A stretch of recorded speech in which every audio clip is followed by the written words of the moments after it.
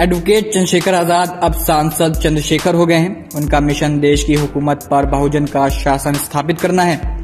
उत्तर प्रदेश के नगीना लोकसभा क्षेत्र से 2024 का चुनाव जीतकर वो इस मंजिल की तरफ़ अपना पहला कदम बढ़ा चुके हैं। चुनाव में जीत के बाद चंद्रशेखर पूरे देश में कहीं भी और किसी पर भी होने वाले जुल्म के खिलाफ लड़ने की हुंकार भर रहे हैं। सरकार को चैन से न बैठने देने की कस्में खा रहे हैं और संसद में रंग जमाने का दावा कर रहे हैं। महज 36 साल की उम्र में चंद्रशेखर 140 करोड़ की आबादी वाले देश में एक व्यापक एजेंडे के साथ अपनी राजनीतिक लड़ाई को आगे ले जा रहे हैं।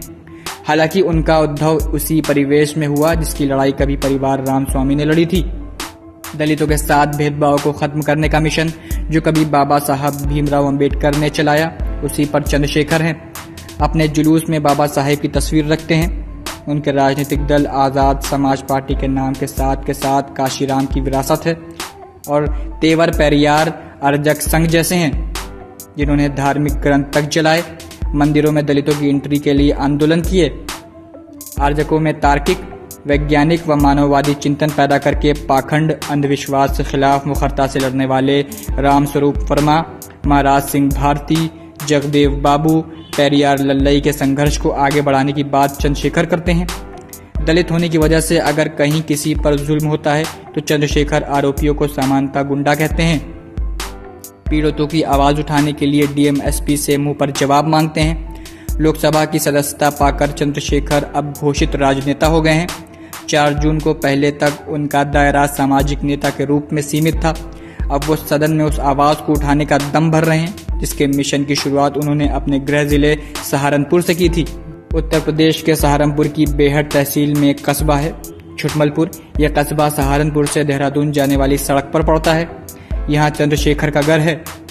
तीन दिसंबर 1986 को चंद्रशेखर का जन्म हुआ तो छुटमलपुर के पास धमकौड़ी गाँव में हुआ था, लेकिन उनका जीवन वहीं गुजरा और गुजरता रहा।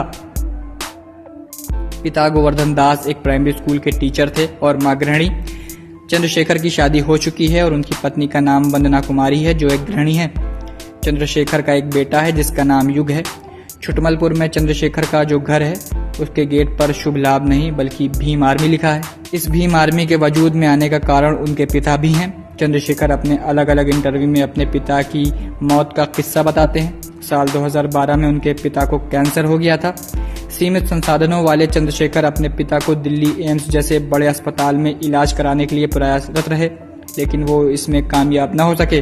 फिर देहरादून में इलाज कराया, मगर वो बच न सके। 11 जनवरी 2013 को चंद्रशेखर के पिता की देहरादून में मौत हो गई।